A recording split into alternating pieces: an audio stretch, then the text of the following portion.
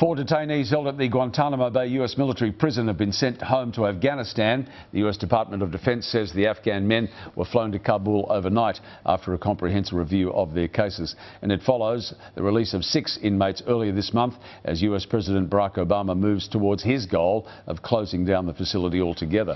132 prisoners, though, still remain in the controversial detention centre.